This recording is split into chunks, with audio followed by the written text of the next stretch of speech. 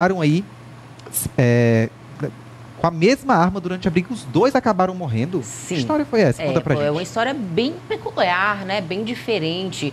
Ah, inclusive, eu vou narrar junto com as imagens para que você possa entender essa história um pouco complicada. Porque foi o seguinte: dois homens se mataram com a mesma arma, gente. Vejam só.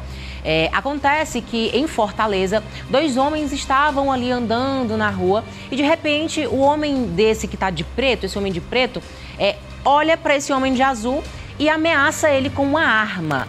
De repente, claro, o homem de preto começa a atirar nele, no rapaz que está de blusa azul, e o rapaz que está de blusa azul, por sua vez, vai para cima do homem que está de preto, né, de camisa preta, e vai ali eh, tentando se defender, gente, de alguma forma, para não morrer naquele momento. E aí, nessa de se defender, ele não consegue tirar a arma do rapaz que está de preto. Ele apenas consegue virar a arma. No que ele vira a arma, o rapaz de preto está ali atirando contra o de azul e acaba atirando contra si próprio. Ele imediatamente, o rapaz de preto, cai no chão. E o rapaz de azul, apesar de já baleado, tentou aí é, lutar contra ele, mas após aí se afastar um pouco do rapaz de preto que já estava no chão, ele acabou também caindo e veio a óbito, tanto de preto quanto o de azul.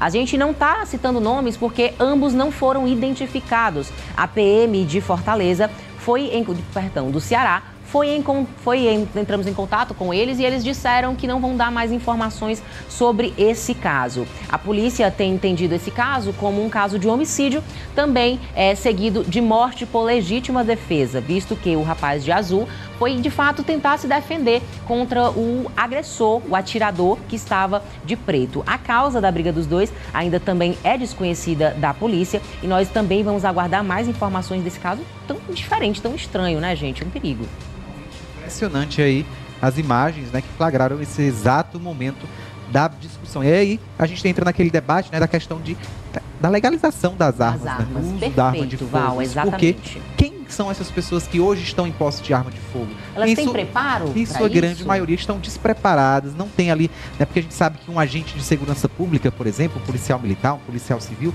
ele faz um curso de capacitação, né, depois que é aprovado em um concurso público, ele passa a ter ali todas as noções, tanto de como manusear, mas principalmente de quando manusear, né, e quando fazer uso dessa arma de fogo, porque eu conheço policiais que em situações de alta tensão, é, por exemplo, quando estão, porque mesmo quando estão apaisando, estão de folga, podem permanecer, usar a arma, né, estarem em posse da sua arma de fogo, só deixam para mostrar que estão ali em posse de arma em último caso, em última circunstância, porque é algo realmente muito perigoso, pode acabar acertando um tiro em um inocente, uma pessoa que não tem nada a ver que está passando.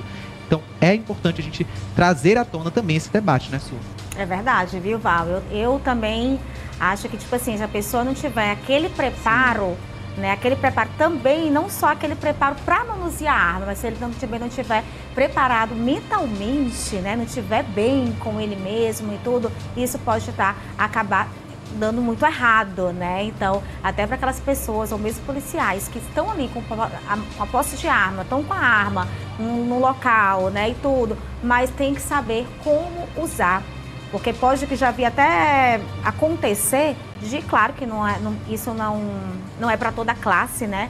é, da polícia, mas já vi muitos, alguns casos acontecer de policial armado que aí acaba se envolvendo com festa, bebidas e tudo e acaba usando a arma de forma errada. Então, realmente é importante ficar atento. Tá, então é importante realmente estar acompanhar toda essa questão porque envolve pode envolver aí outras pessoas, como nesse Outras caso aí, vidas, outras né? vidas, né? E é perigoso realmente toda essa situação. Su agora me conta com relação a